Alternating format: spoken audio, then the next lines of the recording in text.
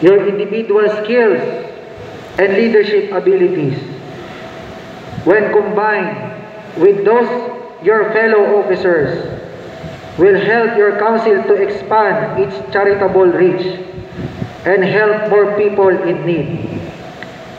As the need for service change, your council programs need to adapt to meet the new challenges.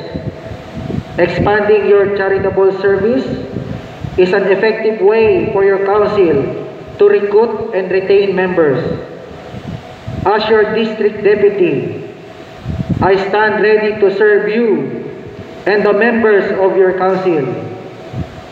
And now, I declare that you truly qualify and install your office and authorized to conduct business of your council. And our order until such time you have been lawfully succeeded.